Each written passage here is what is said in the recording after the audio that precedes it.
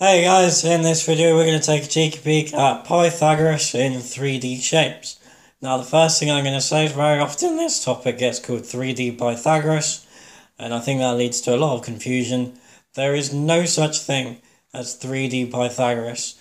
We are playing normal 2D Pythagoras inside of a 3D shape. So I've hopefully used color coding here to make this make sense and know it can look quite confusing. Uh, so let's get cracking. So for the first question, we're dealing with a cube with lengths of three centimeters. Now, in all the questions in this video, we're going to be looking at finding the value of the, the length of this red line. Now, this does require uh, a tiny bit of imagination. So here, we are finding the length from the front left bottom corner of the cube to the back right top corner of the cube. So if you imagine this red line is running in three dimensions from the bottom left front to the back top right. So it's cutting the cube through the diagonal. Okay, so how do we do that? Well, first of all, as I said, we're going to get some colour involved. This red line is actually the hypotenuse of its own right angled triangle. So one of the legs of the triangle is the height of the cube. So here we've got that in blue. And the other length of the triangle is this green line along the bottom. Now that, really conveniently, is the diagonal of the base of the cube. So if we pull that out of the cube, then we get this right angle triangle over here on the right. And I've forgotten the right angle side. Okay, so now what we need to do, we are going to find the length of that green side, the diagonal of the base of the cube. So imagine now we look down on our cube and we don't see the red line, we're just going to see the green line. Then what we've now got is this green line is the diagonal of the 3 by 3 square. Uh, so it forms a nice right angle, uh, a nice right angle triangle. So here now we can play Pythagoras to find the length of the green side. So we would do 3 squared plus 3 squared, let's call it c, is equal to c squared 3 squared is 9, so we've got 9 plus 9, which is 18. So 18 is equal to c squared. Now if we square root, we would get c is equal to the square root of 18, which we can simplify and leave it as 3 root 2. Now here I'm just going to leave that in exact surd form. If your question requires you to give your answers to a certain number of decimal places. You know the drill. Whack it into your calculator. Okay, so now we know the length of Mr. Green's side. He is 3 root 2 centimetres. And again, remember, this is a right angle triangle. So now we've got both the ingredients we need to be able to work out the length of the red uh, side of the triangle, the hypotenuse. So, again, we just play Pythagoras. Now with this right angle triangle over here on the right where we've got the two lengths, which again are the diagonal running along at the base of the cube and the height of the cube. So now to find the length of this red side, we're going to do 3 root 2 squared plus 3 squared is equal to, again, we'll call that c, is equal to c squared. Now we know that 3 root 2 squared is 18, because we just square rooted 18 to get 3 root 2.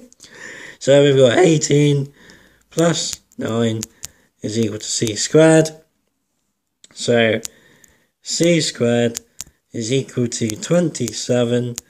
Therefore c is equal to the square root of 27, which we can simplify to 3 root 3. So, the length of the diagonal of this cube is 3 root 3 centimeters. Cracking. Okay, next example. So this time we're going to deal with a cuboid, uh, but our numbers are going to work out nicer. So again, we're using the same colours, so we want to find the length of this red diagonal. So this diagonal is going from the top left vertex of the cuboid to the bottom right back vertex of the cuboid. Okay, now again, that forms us a nice right angle triangle inside of the cuboid. So again, the blue line here is the height of the cuboid and the green line is the diagonal of the base of the cuboid. And we're playing exactly the same game here. So, first thing we need to do then, we know the height of our right angle triangle. Again, I've missed out the right angle sign.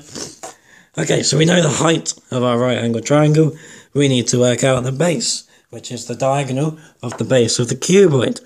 So again, imagine we are now looking down on our cuboid, and we are seeing the base. So again, let's call the green side C. Then by Pythagoras, we've got 3 squared plus 4 squared equals C squared. 3 squared is 9. 4 squared is 16. 9 add 16. Well, that would tell us C squared is equal to 25. Therefore, C is equal to 5. So, the base of our right angle triangle is 5 centimetres. Jobs are given. So again, now we've got both of the ingredients that we need to be able to work out the red length the hypotenuse of the right angle triangle, the diagonal of the cuboid.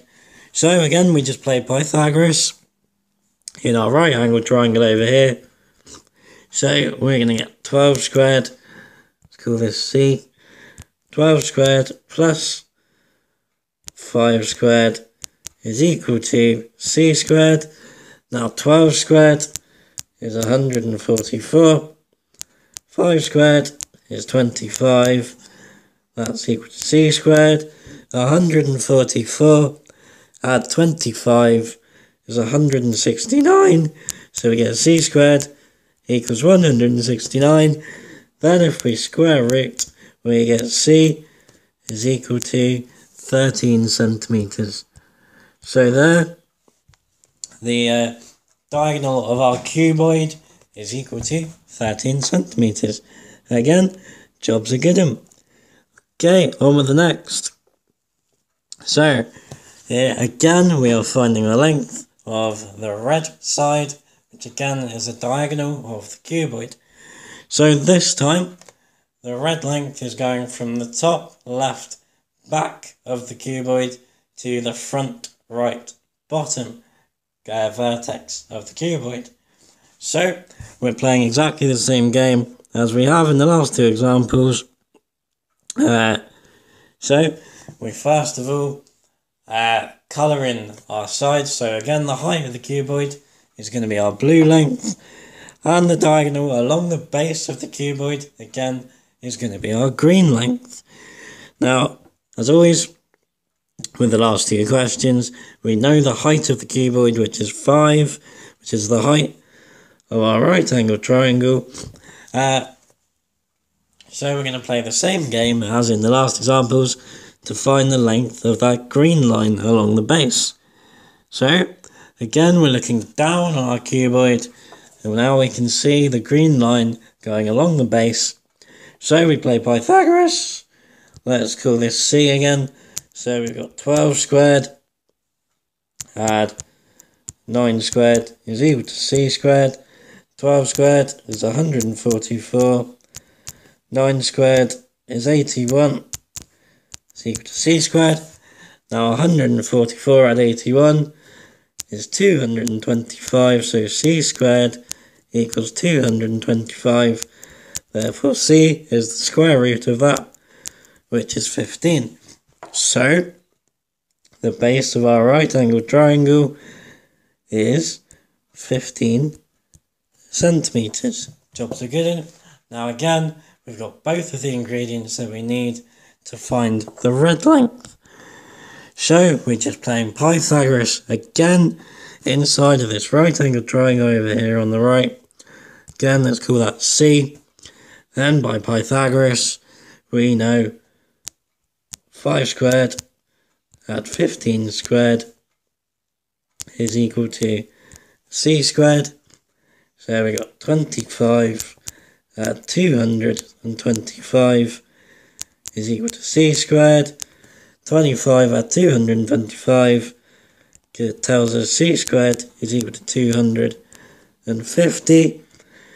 So then, uh, C is equal to the square root of 250, which we can simplify, well, that's root 25, root 10, which is 5 root 10. Okay guys, that's how we play uh, with Pythagoras inside of cubes and cuboids. In part 2, I will look at going through some other more complicated shapes. Hope it's helped. Was this video helpful? If so, don't forget to hit the thumbs up button and leave me a comment letting me know how you get on. Also, don't forget to subscribe to the channel so you never miss any videos. For any further information, you can find me on Facebook or Twitter. Search for Maths with Melv. Cheers, guys.